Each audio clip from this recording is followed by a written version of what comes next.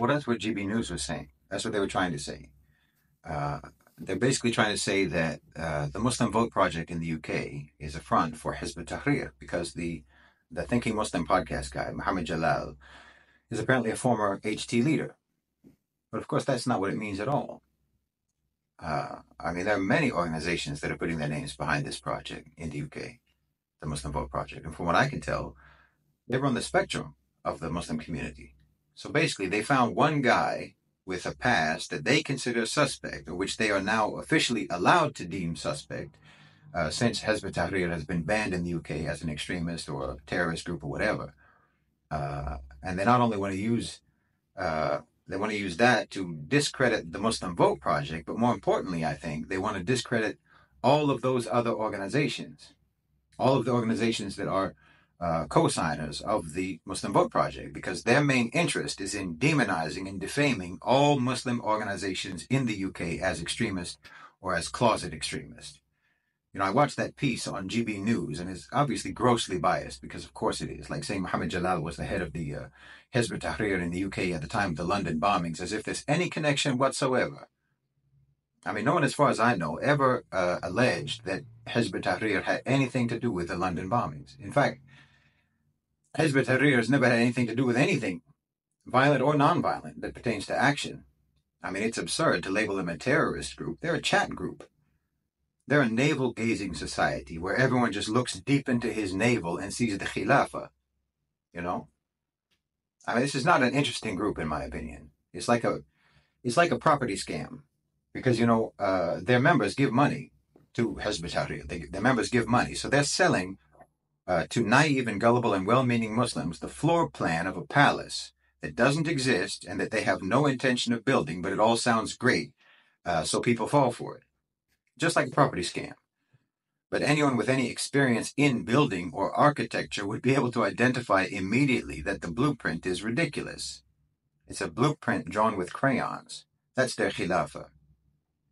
But yes, they're obsessed with politics. That group is obsessed with politics. And I said obsessed, uh, not educated or informed or insightful. They're obsessed with politics, like most uh, so called Islamists.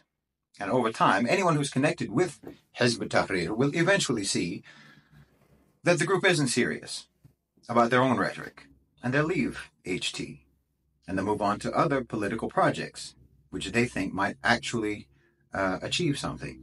So it isn't surprising that this man from the Thinking Muslim uh, podcast would move from HT uh, to get himself into something like the Muslim uh, Vote Project, that he would move away from that, or something like Ummatics, which is just a kind of uh, in my opinion, convoluted rebranding of Hizb ut-Tahrir utopianism. But again, uh, none of this is particularly interesting to me, nor is GB News and what they have to say. The Muslim uh, Vote Project is interesting to me. You know, I went to their website, and a few things stood out. One was the talk of connecting with, or what do they say, building relationships with allies. Well, that's an interesting uh, term. It's, it's, a, it's a somewhat revealing term. There's a degree of in my opinion, psychological colonization in that sort of language. This is a word, first of all, popularized by the liberals, particularly by the woke and the LGBT of this generation. What it means isn't uh, we both support the same cause together, which is what an ally is supposed to mean. What they mean by allies uh, is is reciprocal support for each other's goals, each other's communities. It isn't really allyship in a single cause. It's the this whole identitarian politics notion of so-called marginalized communities having each other's back. Well, obviously that can become a trap. This isn't unity. It's you scratch my back, I'll scratch your back. That's different from real unity. Another problem with that term, this this term ally, uh, and a problem with that way of thinking, in my opinion, is that it already implies a marginalized mindset, a besieged mindset, a sort of uh, isolated mentality where you think that you're on your own. Well, there's uh, the Muslims are two billion people. The entirety of the UK is a drop in the ocean of the Ummah. But why aren't you connecting with the Muslims? Why are you looking for allies over there and looking down on Muslims in the Muslim world? You know, most of these groups uh, have nothing but derogatory things to say about Muslim countries and about Muslim rulers, about Muslim governments. They're alienated from the Ummah. They're estranged from us over here in the Muslim world, but they're running after uh, so-called non-Muslim, so-called allies in the West, in the UK, and so on. You're never going to get strong like that. They're talking about uh, putting so-called Muslim issues at the forefront of UK, uh, politics in the UK. What does that? Uh, how does that make any sense, really? You know, what does that even mean? What are Muslim issues exactly? And why should they be at the forefront of politics in a non-Muslim country? You know, the UK has a lot of problems. They have massive problems. I don't know which one of these uh, problems are distinctly Muslim issues or not, or how focusing on so called Muslim issues is going to resolve any of the major problems that the UK has. I mean, it looks to me like uh, corralling Muslims in Britain around some sort of a niche set of demands or policies or issues uh, is more likely just going to remove the Muslims from contributing uh, to actually solving any of the real problems that the UK is facing. And that's only going to exacerbate those problems. This is a very flawed approach to politics, in my opinion. It's not an Islamic approach to politics either. It's not an Islamic approach to trying to bring improvements to the society, which is something uh, that we should, as Muslims, want to do wherever we are, whatever kind of society it is. What this approach is going to do is just create a, a list of boxes for politicians to tick that demonstrates a sufficient level of pandering to the Muslim community uh, in order to get their vote, in order to get an endorsement from the Muslim Vote Organization. Never mind uh, whether or not that politician actually has any ideas or any strategies for improving the UK in, in, in, in any sort of real terms. The UK is in recession. You know, inflation is out of control. Energy prices are rising uh, relentlessly. 15 million people are in poverty.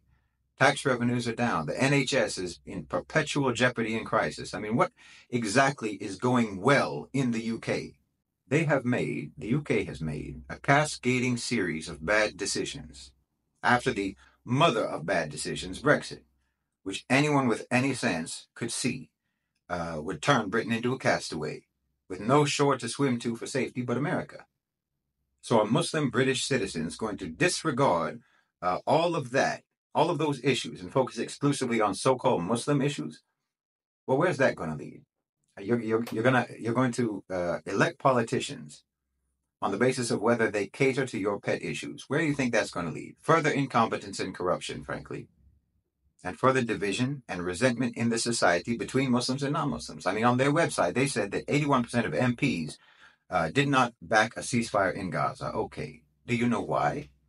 Do you understand the interests that are involved? For example, as I said, the uh, intensified dependence of the UK on the US. So you see, this is the irony. If we're talking about like ut-Tahrir, for example, uh, one of the aspects of their political naivete is that they seem to fully believe in the Western system, the liberal values, the liberal Western values, and so on, all while railing against them. But they fully believe all of this.